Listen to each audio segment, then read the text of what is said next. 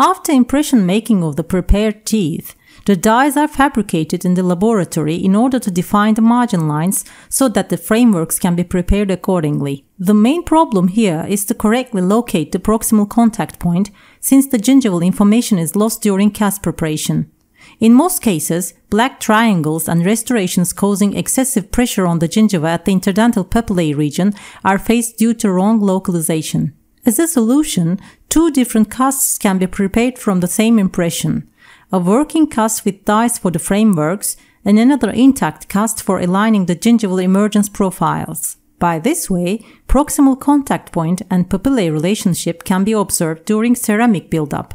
The frameworks that were fabricated on the first working cast may not be seated properly on the second cast.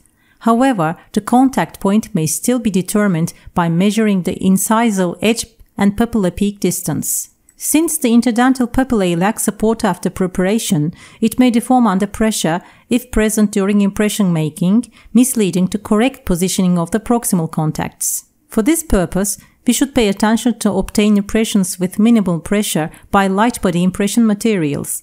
Hydrophilic A-type silicones or polyether impression materials can be preferred.